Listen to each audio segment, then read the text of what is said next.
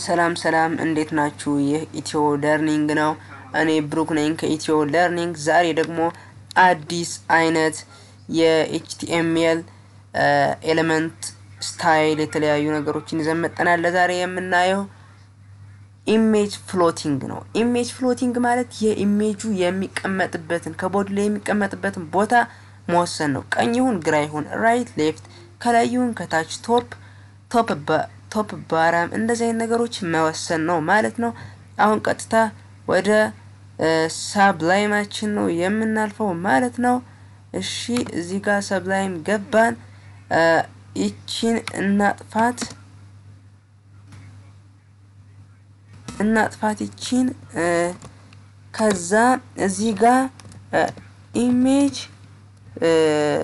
image source ይህ በባለፈው ስላሳዩችሁ ብዙም የሚያቅት ነገር የለውም። የኢሜጅን ስም የኢሜጅን ስም ልፈልግ one dot jpg አልኩት።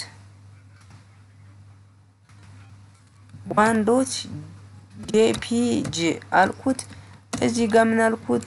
width ዊድስ 300 ሄይት 300 አልኩት ቀጣይ ሌላ image image አለን። image source source ኣችንን እናስቀምጥ።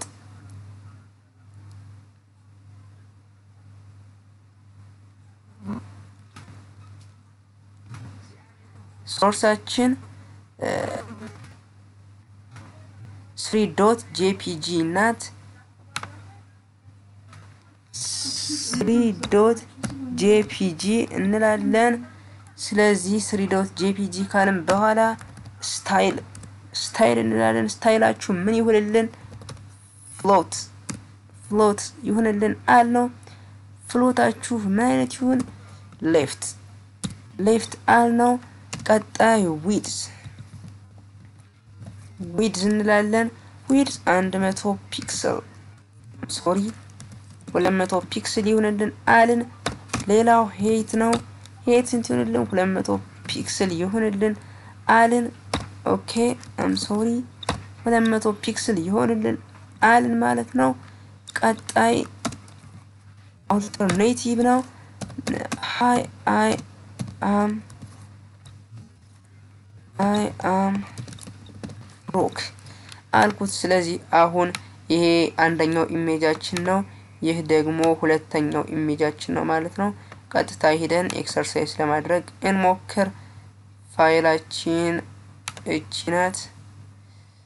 refresh እስኪ ፋይላችን እንደ okay save አላደረግንም የነበር save እንበለው። እሺ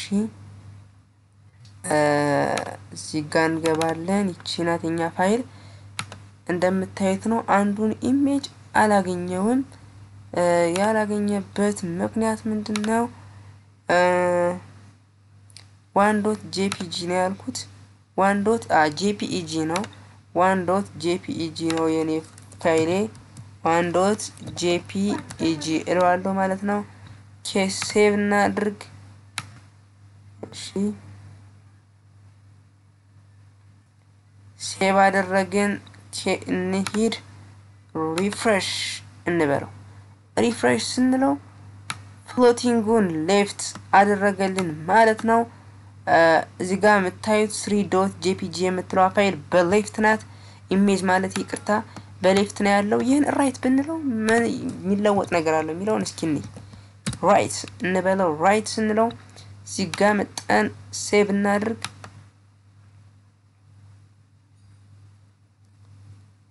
refresh እንበለው። እንደምታዩት ነው image ኣችን በ right በኩል ሆኖልናል ማለት ነው። በድጋሚ ይህ ኢትዮ Learning ነው። እኔ ብሩክ ነኝ። please please ባካችሁ like፣ share፣ subscribe አድርጉልን እንላለን። በቀጣይ ቪዲዮ እስከምንገናኝ ድረስ bye bye።